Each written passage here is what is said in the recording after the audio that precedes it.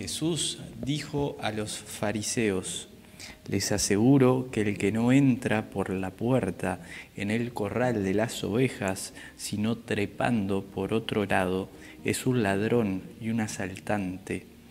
El que entra por la puerta es el pastor de las ovejas. El guardián le abre y las ovejas escuchan su voz.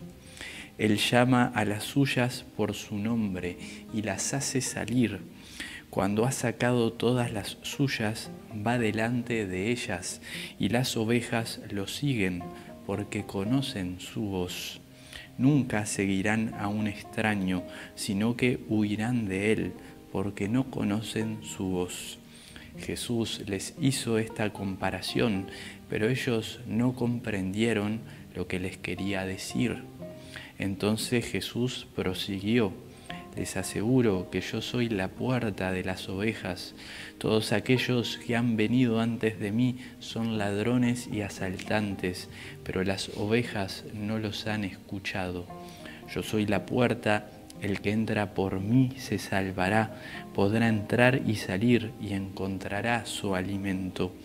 El ladrón no viene sino para robar, matar y destruir pero yo he venido para que las ovejas tengan vida y la tengan en abundancia.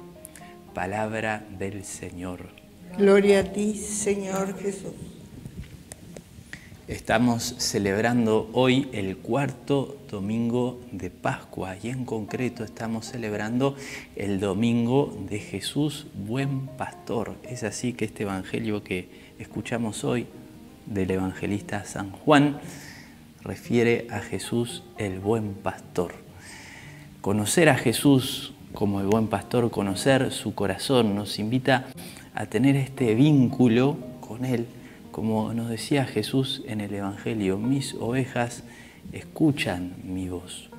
Nosotros estamos invitados a conocer la voz de Jesús, la voz de nuestro pastor, así como Él nos conoce. Jesús decía, el pastor conoce a cada una de sus ovejas, las llama por su nombre, así como Dios nos conoce, experimentarnos así de conocidos por Dios, como dice el Salmo, tú me sondeas y me conoces, así nos conoce Dios y también nosotros conocer a Jesús, conocer su voz, identificar su voz, porque eso nos va a habilitar a distinguirla y a seguir su voz y no seguir las otras voces, porque Jesús también hoy nos está alertando, nos está poniendo en guardia de los ladrones y de los asaltantes, esas otras voces que no nos vienen a traer vida como nos viene a traer Jesús. Jesús nos viene a traer vida, nos viene a traer alimento, esto está toda la imagen del pastor Jesús que nos cuida, que nos acompaña, que nos provee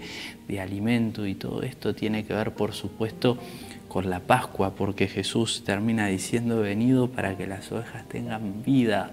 Y esto tiene todo que ver con este tiempo pascual en el que Jesús nos viene a regalar esta vida de la resurrección, la vida que vence a la muerte, la vida plena, esa vida es la que Jesús nos quiere dar, con la cual nos quiere alimentar como pastor a nosotros, sus ovejas.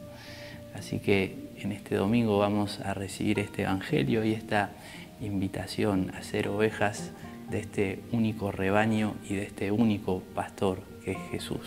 Que así sea.